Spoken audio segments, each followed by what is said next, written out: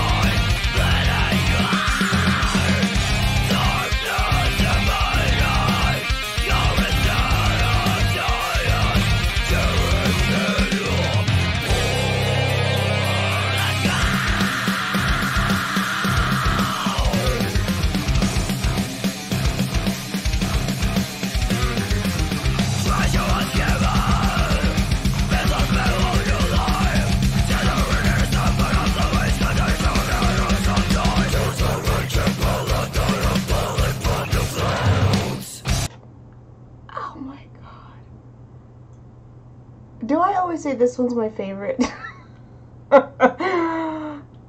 this one might be my favorite. Oh my god.